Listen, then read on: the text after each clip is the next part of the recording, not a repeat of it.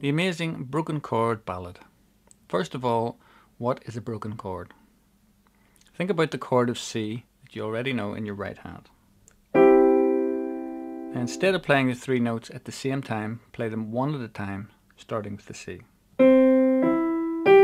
So you've broken the chord up into three notes. Try it with your left hand. C, you're going to make a sweeping melody line using broken chords.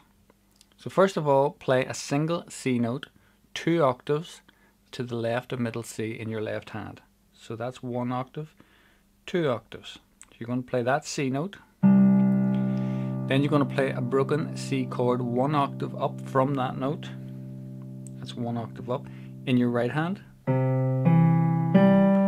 Then you're going to lift your left hand over your right hand and play the next broken C chord another octave up in your left hand. And you're going to bring this hand underneath and finally play a last broken chord one octave up again in your right hand. And you're going to keep the sustain pedal down throughout the whole sequence. So right hand sustain pedal on, lower C note,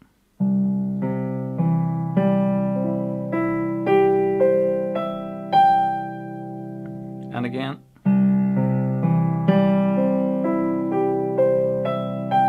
And you get a nice ringing tone. Now, let's see if you can play the same pattern, but this time use the chord of F.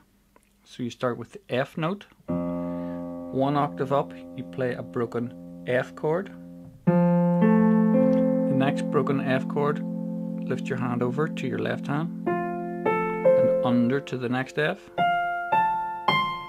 So F.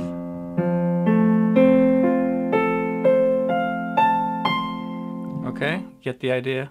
Now, to play the entire tune, use the pattern on the page with the following chord sequence. So you start with C, F, B diminished,